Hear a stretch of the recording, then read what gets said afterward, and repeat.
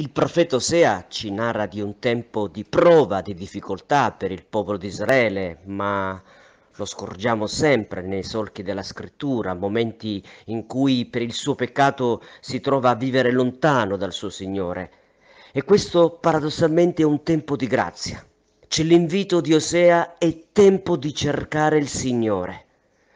Attenzione, non è importante avere sempre il Signore con noi, o meglio, Lui è sempre con noi, ma tante volte il rapporto stabile col Signore diventa un rapporto morto, un rapporto senza vita, senza fecondità, magari anche noi nella nostra vita ci troviamo sempre a cercare il Signore, ma in realtà la verità più profonda è che ognuno di noi, sempre nella sua storia, nei paradossi della sua vita, ha sempre bisogno di cercare il Signore, di comprenderlo la propria storia. E per questo è importante anche ciò che Gesù fa nel Vangelo, quello di chiamare i dodici, di inviarli. Tutti abbiamo bisogno di uomini che ci mostrano questo Dio, che prima ancora di essere cercato è Lui che ci cerca.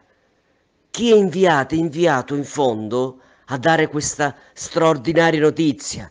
Il regno di Dio è vicino, Lui il Signore è vicino a te, ti cerca, vuole fare una storia grandiosa con te, ti vuole fare il dono della redenzione.